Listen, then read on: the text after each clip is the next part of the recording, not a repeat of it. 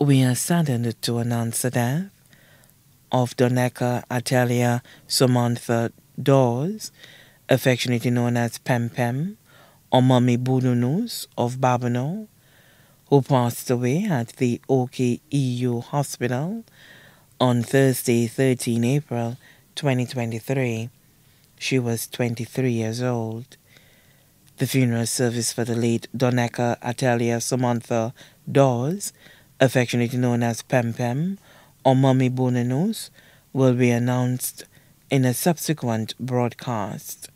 May she rest in peace.